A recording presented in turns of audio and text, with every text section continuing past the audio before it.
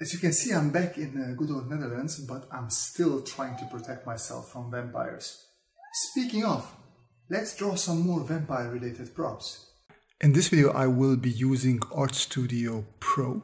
Uh, but before I started drawing, I looked for reference something with a vampire hunter in it, and I think I found uh, Abraham Lincoln, Lincoln Vampire Hunter, which is a bit funny, but actually the pose was pretty fine, so I wanted to take that one. And to clean it up a little bit, I used the lasso tool and just selected. First, I wanted to select the area around the Vampire Hunter, but then I just decided, yeah, let me just select the Vampire Hunter. It is a little bit easier and faster like that. And next step, I just inverted the whole selection and deleted everything around the Vampire Hunter. With that done, I just made the Vampire Hunter a little bit bigger and then pushed it in the background so I can start draw over him.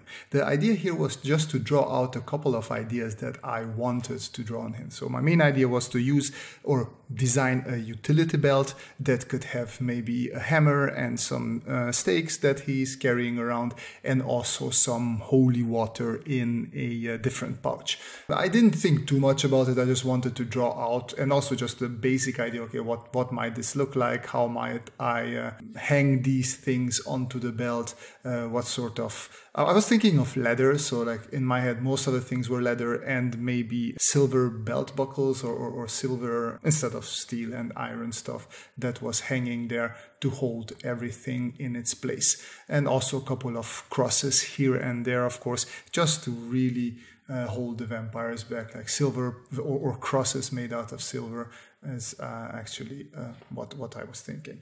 And then on one side, one pouch, four like four stakes. Uh, that doesn't the number doesn't really matter. But if you want to go deeper into the whole lore of uh, vampires, you can make up your own idea of or your own story why a specific number is bad for vampires, and that's how many stakes you drag with you. But in, in this case, I just wanted a, a uh, couple of stakes that are in there and a couple of uh, vials of holy water that he just takes out and throws at the vampire.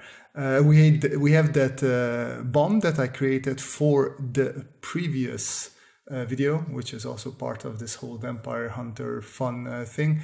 And this time I thought, okay, let's make it just a little bit simpler and easier and just do some holy water vials and, and throw those.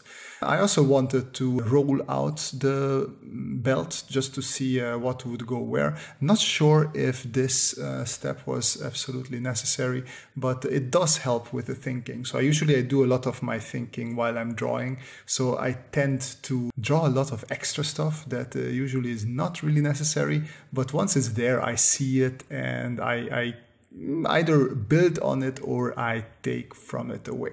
Anyway, once that was sort of semi done, I also decided, yeah, I actually I don't need to draw anymore. So it, it, it shows you like, yeah, I start drawing it. It's a waste of time, but at least my brain was like, yeah, yeah, don't don't waste any more time on this. Just move on to the to the main part of the drawing. In which case I just wanted to draw this belt on uh, like how it would look like when it's on the human body. Of course, the waist of the human body is not a perfect ellipse. So uh, don't think of it like that. But it, if, if you draw it a little bit like this, at least it, it gives it a 3D effect and it looks more uh, worn.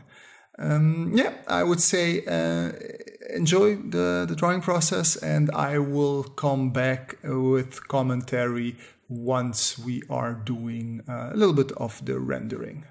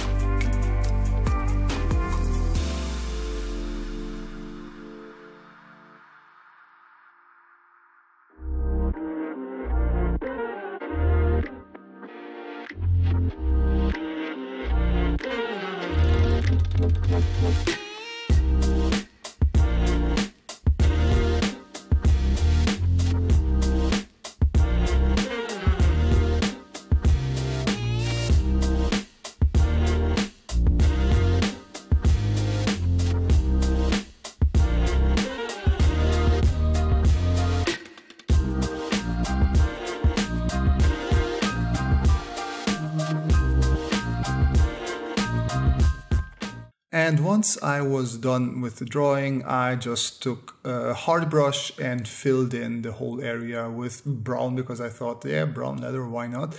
And that's what you can see me do here now. Now, once that was done, I thought it would be cool to throw just a quick texture on it, not go into texturing detail like I did in my previous video. Just take one leather texture, throw it on it, as you can see here, I didn't even worry about trying to warp it into the correct place like I did it last time. I just threw it on there. I erased a little bit the bottoms away so it's not such a hard cut and I started immediately painting over it, a little bit of highlights, a little bit of shadows here and there. Uh, this is more just, just to give a taste uh, and I, I wanted to sort of show you that if you love painting, you can still do most of it with painting and the texture will just help you of, of selling the um, well, yeah, the, the texture of, of the leather. So you don't have to paint in a lot of, if, if you want to, sure, you can do that as well, but this just speeds it up a little bit. You will see that I spend the rest of the video painting out nicely the silvery metallic areas, the water, and also uh, the wood uh, of the stakes and the wooden hammer. So you can sort of mix these two approaches and at least in my opinion here works. Could be that you don't like it, it doesn't work for you. Uh, that's also fine. But I think this sort of gives a nice mix between painted and also using photo texture uh, anyways, I don't have much else to say here. It, it, was mostly I just wanted to draw or paint something still related to the vampire killer challenge that we have go going on. Don't forget, hashtag VampiProp.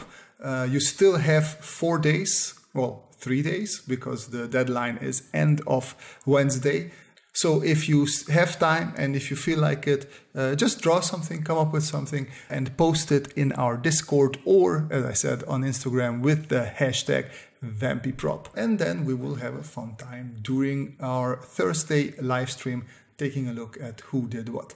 Anyways, this was this week's video. I had a lot of fun with it and I also just wanted to showcase Art Studio Pro again because I just feel not enough people know about this app on uh, the iPad and I think it is really, really good. It costs a little bit more around it. I think it's like 14, 15 bucks. So it's, it's around the same as uh, Procreate, but it's a little bit more Photoshoppy. You have a lot more Photoshoppy layer options and, and adjustment options in it. So it's a little bit more professional. It's a little bit more clunky at the same time. So uh, Procreate is very pure drawing and this is a little bit less pure, but uh, it is uh, it, when I need to do professional stuff, I, I, do reach out to this one if I am in need of Photoshop and I only have my iPad with me. And with that said, I hope you guys took something away from this video. Uh, leave those comments in the comment section down below. I really like reading them. If you want me to pep up the pillows on our couch, please hit that like button so that can happen too. And yeah, follow me for more content like this. But the most important part, as always, is that you folks have a great time and see you in the next video. Bye bye.